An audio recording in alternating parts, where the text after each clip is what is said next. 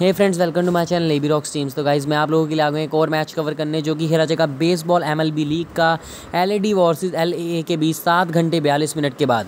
तो इस मैच की सुबह तो टीम में आपको फाइनल नहीं दे पाऊँगा क्योंकि क्या रहता है कि मैं मैच शुरू करता हूँ देने आठ से नौ बजे के बाद। तो ये मैच तो साढ़े सात के करीब है। तो ये जो मैच आप देख रहे हैं, इन दोनों टीम्स के बीच पहले भी एक मैच हो चुका है, जिसमें आपको प्रॉब्लम नहीं आनी चाहिए बट लाइनस बार बार चेंज होती हैं। हर मैच में स्क्वाड चेंज होता है। इसलिए कॉन्फिडेंट होकर अगर कोई प्लेयर नहीं खेल रहा तो चेंज कर लेना गाइज़ और इस मैच की आपको मैं फाइनल टीम कोशिश करूँगा यहाँ देने की। अगर बाई चांस अगर कुछ हुआ, अगर कोई वो ज़्यादा ऊपर नीचे हुआ तो मैं पूरी प्रैक्टिस करूँगा यहाँ मैच देने की। बट मैं बेसबॉल कवर कम ही करता हूँ, मैं ज़्यादा ध्यान देता हूँ बास्केटबॉल एंड फुटबॉल में guys sorry, cricket and football में। बास्केटबॉल बहुत कम खेलता हूँ तो मैं चलता हूँ दोस्तों आगे। और मेरे टेलीग्राम टेलीग्राम चैनल का लिंक आपको नीचे डिस्क्रिप्शन बॉक्स में मिल जाएगा। जाओ और जाकर विज़िट करो एंड गाइस ज्वाइन हो जाओ।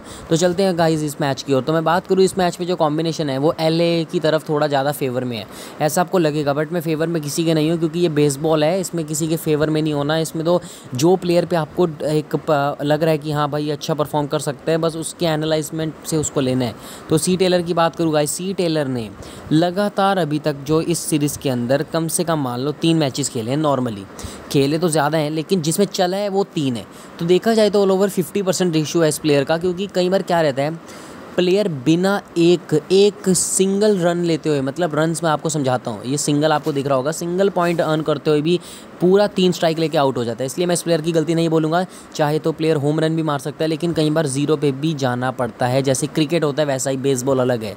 आगे से बात करूँ जे अपटन की तो जे अपटन को यहाँ से लेने वाला हूँ। प्रीवियस मैच के अंदर कुछ खास रिज़ल्ट नहीं रहा।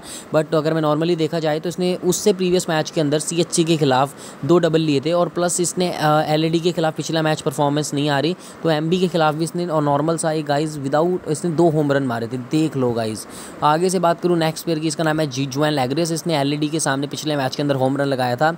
सिलेक्शन देखो, इसकी सिर्फ़ पिछले मैच में थी zero point sixty eight percent इनमें काफ़ी बार क्या होता है, ऐसे प्लेयर्स भी खेलने आ जाते हैं जो लाइनअप्स में ना हो, क्योंकि बेसबॉल का स्क्वाड शुरू से बड़ा रहता है, जिसमें से खेलते कोई नो प्लेयर्स ही हैं गाइज़ आगे से बात करूँ इनफील्डर्स की तो यहाँ से लूँगा ए रैंडन को तो ए रैंडन जो प्लेयर है, ये एक टॉप का इनफील्डर है। सिलेक्शन पता नहीं क्यों कम है, लोगों ने इसको इसलिए निकाला है क्रेडिट बचाने के लिए। लेकिन अगर आप इस चक्कर में क्रेडिट बचा के बड़े बड़े प्लेयर्स निकालते जाओगे देन लॉस आपको झेलना पड़ेगा। सी सीगर बात करूँ सीगर का इस वाइस कैप्टनशिप के लिए बहुत अच्छा प्लेयर है। पिछले मैच में इसने इसी टीम के खिलाफ होम रन मारा था। एक होम रन के बारह पॉइंट्स मिलते हैं और बारह पॉइंट बेसबॉल में काफ़ी मायने रखते हैं।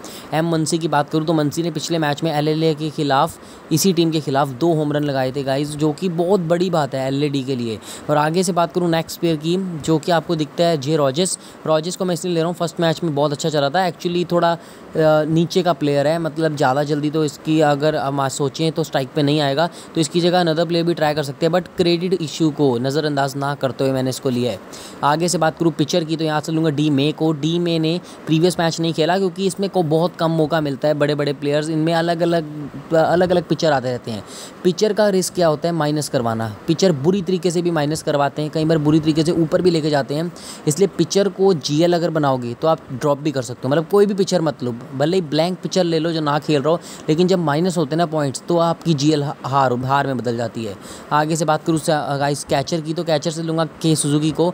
अगर ये प्लेयर खेलता है देन हंड्रेड परसेंट ये मेरा फाइनल रहेगा। और अगर बाई चांस ये प्लेयर नहीं खेलता तो गाइज़ हम इसको ड्रॉप कर देंगे आज के मैच में।